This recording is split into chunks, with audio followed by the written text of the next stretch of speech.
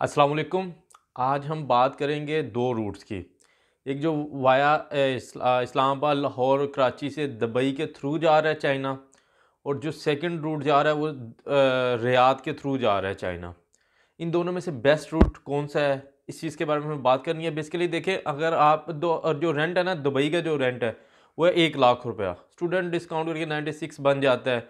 और ये इस्लामाबाद सबसे महँगा है, उसके बाद लाहौर है, उसके बाद कराची है। और लाहौर सस्ता पड़ जाता है। काफ़ी नाइन्टी सिक्स नाइन्टी फोर तक पड़ जाता है। कराची फिर एक लाख तक पड़ जाता है। और अगर स्टूडेंट डिस्काउंट डालो तो इससे भी कम हो जाता है। तो हाँ अगर हम दुबई के थ्रू जा रहे हैं, ये सीन है। लेकिन जो वाया हम सऊदी अरब जा रहे हैं ना तो वो पड़ जाता है एक पचासी है लाहौर से, ठीक है, लाहौर इस्लामाबाद से। लेकिन जो कराची से है ना, वो सस्ता है, वो एक पैंतालीस तक है।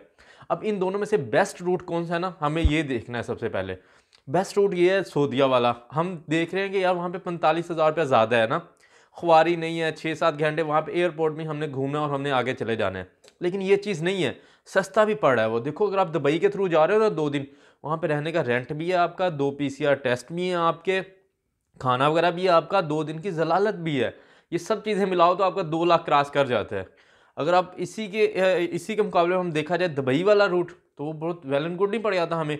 उसमें क्या सीन होता है? उसमें हमने डायरेक्ट जाना है, वहाँ एयरपोर्ट पे छः सात घंटे घूमना है, फिर आगे चले जाना है। सीट यहाँ से बुक करवानी पड़ेगी और डायरेक्ट चाइना की ही होगी। ये नहीं होगा कि यहाँ सीट बुक करवाएँगे, फिर आगे जाके वो करवानी पड़ेगी। चाइना के लिए दोबारा सऊदिया से करवानी पड़ेगी, ये सीन नहीं है। तो सऊदी वाला रूट बहुत ज़्यादा बेस्ट है। अगर आप जाना चाहते हो तो वहाँ से जाओ। और इससे भी सबसे जो बेस्ट सजेशन है ना मेरी, थोड़ा सा और वेट कर लो। अगर आपको यूनिवर्सिटी वो प्रेशराइज नहीं ना करी कि पहुँचो पहुँचो आप यूनिवर्सिटी तो वेट कर लो थोड़ा सा उम्मीद है क्रटीन ख़त्म हो जाएगा। ख़त्म का मतलब ये कि दो दिन, तीन दिन, चार दिन का हो जाएगा। बहुत कम हो जाएगा।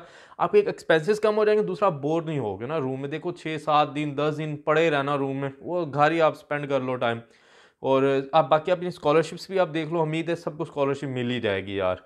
तो सुनने में अभी तक यही आ रहा है। भाई कन्फर्म नहीं है। मेरा यही है कि आप सऊदिया के थ्रू जाओ। बाकी आपकी अपनी डिसीज़न है, अपनी भी रिसर्च कर लो। जो आपको बेस्ट लगता है, उसके थ्रू जाओ। ओके अल्लाह हाफिज़।